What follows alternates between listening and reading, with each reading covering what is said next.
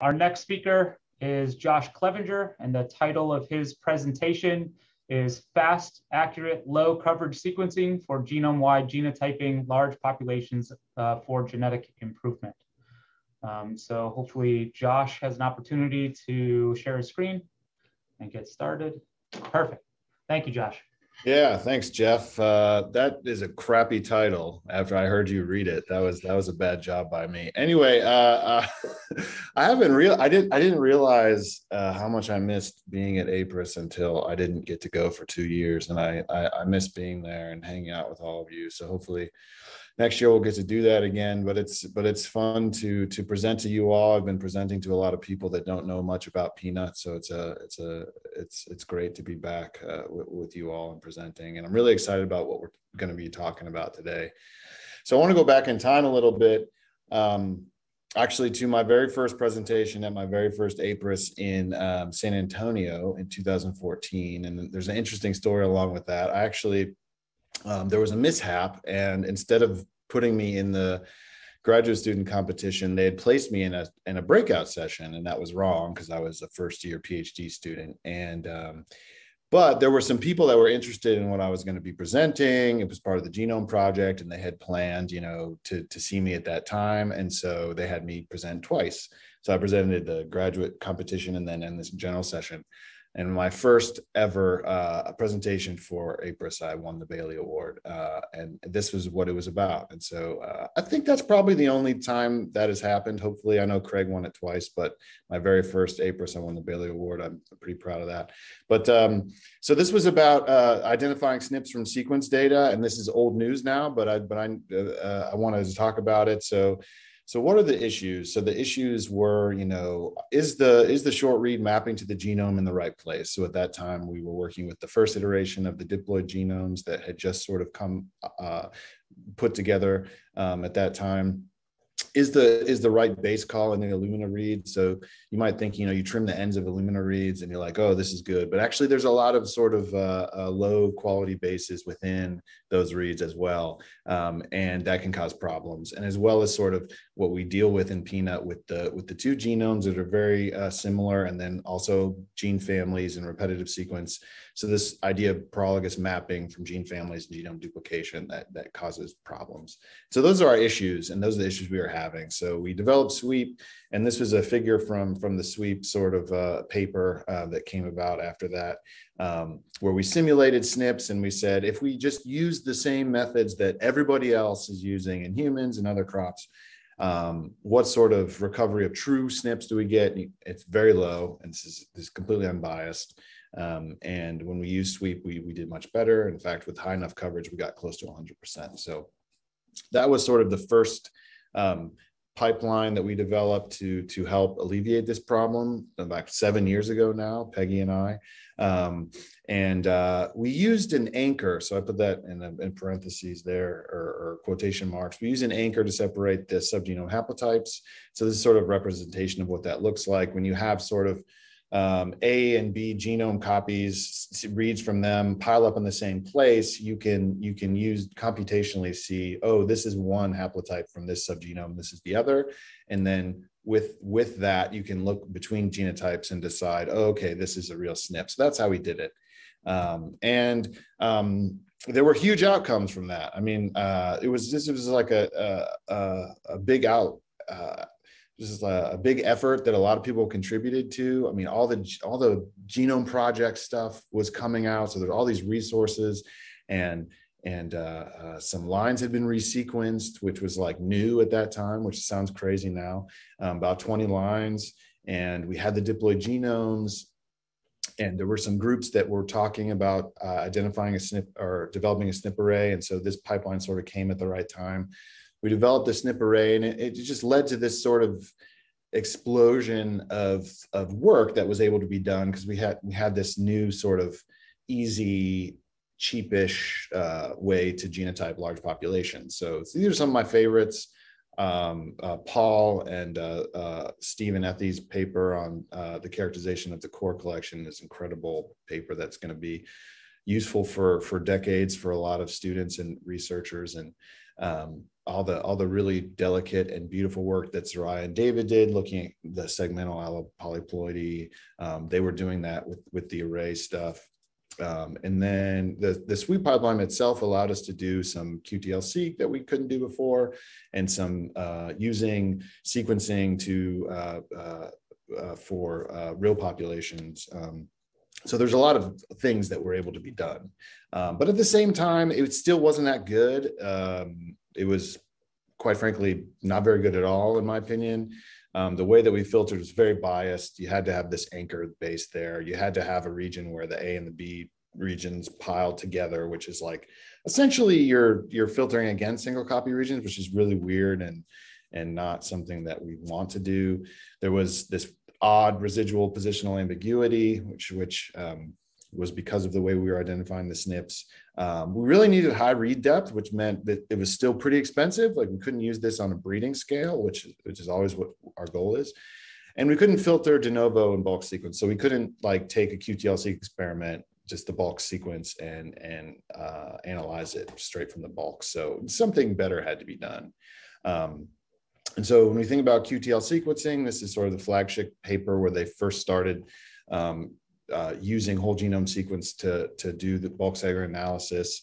And it's really just you have a trait of interest and you're looking at the extremes of the distribution and you say, um, I'm going to sequence individuals on this extreme and on the opposite extreme. And you uh, look at the allele frequency in those bulks um, between the samples. And your hypothesis is if there's genetic control of this trait, these bulks, the allele frequency will segregate at the genomic locations that is controlling uh, uh, that trait. So you get a peak. So that's the idea. It doesn't ever look like that, of course, in real life. Um, so this is what it looks like in Peanut using the standard approach. And this is like the up, the most up to date sort of, this is what the, the good labs, the good informatics people do, right? So they align to the reference genome. They're going to filter for unique mapping for the highest quality. These are things that you use within the sort of uh, aligner that you're using. There's a minimum depth, you know, to make sure that you have, you know, it's not sequence error. There's a maximum depth to try and get rid of repetitive regions. And then you sort of filter for a minor allele frequency. So the, you know, they use like less than 0.3 and that gets rid of base errors that aren't really in your population. So this is what it looks like in Peanut. Yeah, we can see that there are um, potential QTLs there, probably, but this is this is really not useful because we can't really uh, discern the genetic architecture. Um, we just would be like blindly picking SNPs in there to to uh, develop markers for. We can't really pinpoint genes. This is kind of a waste of time in a lot of ways.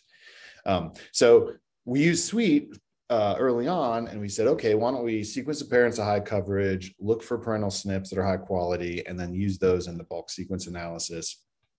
Of course, filter for depth. And we did that.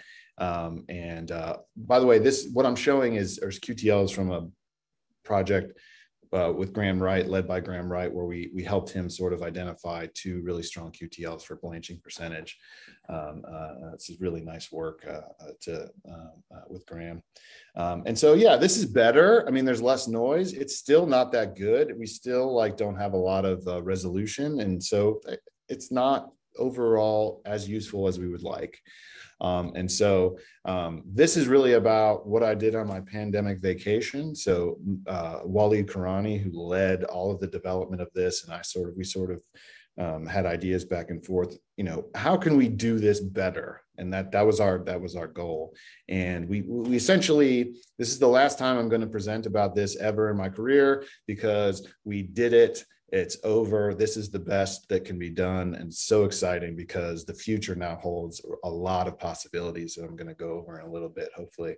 Um, and we call it Khufu because Walid's great naming things, and peaks in QTL-seq kind of look like a pyramid. Um, so that's that's what it's called. And so this is this is the same data set with Khufu. You can see um, this is completely analyzed de novo in the bulks, no parental sequence at all. Um, you can see this uh, the bottom peak. It's beautiful. There's hardly any noise within that peak. It's all signal which is what we expect based on our genetics classes. Uh, but if we if we sort of show a graph of that the distribution of the delta SNP values under that peak with our standard approach i showed before there's a ton around zero and below 0.2 which is all noise. Um, and in Khufu, it's mostly signal. So this is um, when when Walid first sent me the first sort of output of what we were doing, I was just like, it was like one of the best days of my life. I was like, this is amazing. And so um, you might say to yourself, oh, well, you, is this just sort of like, you know, uh, driven by unique mapping and mapping quality? No, because here is the Khufu output when we don't uh, use unique mapping and we don't use mapping quality. Um, and this is just sort of our approach, our internal approach uh, to filtering in, uh, in complex genomes. And it's still basically the same. So um, it's really a, a, a the, the whole is greater than the sum of its parts. We have we have individual sort of uh, layers of this that that that get this done, and it's it's really nice. Um, so the other part is we've done a lot of development with uh, with indels. So here is a sort of uh, QTL seq experiment that uh, Reagan Wiggins, it was Reagan Holton was a part of her uh, master's project. Um, the top is only SNPs, and you can see that peak there. Um, and the bottom is only indels. So we also profile indels we it, and we can validate it by by looking at it between the difference between the SNPs and the indels. So that's just profiling indels. It looks almost exactly the same. And here's a really interesting indel that we that's in the peak that we are following up on with with Peggy. Um, and it's a it's a basically a, a, deletion that that knocks out a gene. Um, so this is really it's really interesting. It gives it gives the analysis a whole nother layer to be able to look at these large and small SVs along with the SNPs. So um, we have a we have a fee for service. Uh, I guess you call it product, but it's really, in my view, it's a you know it's a it's a platform of whole genome genotyping non-model species and with complex polyploid genomes. Uh, this is like facilitates very easy collaboration because it's sort of like a you know this is what we need invoices we do everything for you. We we get we get uh, dna and we sequence and analyze it. Its complete package. Um, and uh, you know this was this was developed for peanut. And so you know it's uh, I, am we're already working with a lot of groups right now. Um, um, carolina mentioned it and um, uh, we we think this next year or two we're gonna peanut is gonna be have something that that you all can use um, and and deliver on your on your genetics projects that a lot of other crops and communities don't really have something as good uh, have access to. So th- so i think this is going to be really cool for for people to see like uh, peanut uh, running rushing ahead. So we're really excited about that. Um, and i probably don't have a, a, a limited time but one of the my the most exciting outcomes of this is is this sort of low pass genotyping, which is what this whole presentation is about. And so we went back at Baozhu's S population. It was sequenced as a part of the genome project. It was sequenced the whole genome sequencing 5x coverage. This was in 2012. So that actually the, the data quality is quite poor. Um, but um, initially it was analyzed with Gaurav and, and Baozhu, and I and I helped them do this. We used sweep. We we we mapped uh, 11,000 SNPs with the full coverage of all the lines. And if you were to sequence a real population at 5x coverage is actually like still like pretty expensive to do that. Um, and so yeah it was good and we mapped the resistance and everything was was kumbaya and great. Um, so i had what what we did was we looked at the same sequence basically down sampled it way down to half x coverage per line um, used our sort of Khufu platform. We could call almost 90,000 SNPs with less than 25% missing data.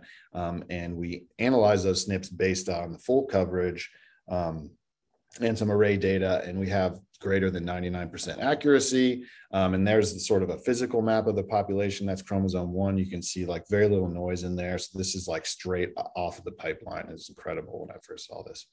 Um, and then the best part is, and this is the end, the best part is, is um, now in populations, if you sequence the whole population, and we do this very cheaply, it's almost about the price of the array, a little cheap, cheaper in some situations. Um, you can bulk your populations on any of the traits that you have. So if you've measured like seven or eight or nine or 10 traits, you can do QTL, QTL seq over and over and over and over and over again. Um, and this is just an example of TSWV from uh, NC 94022, which Albert pointed out is the, uh, an incredible source of resistance. There is the uh, gene right in there that was fine mapped with with Baozhu's work, and we we find it this way as well.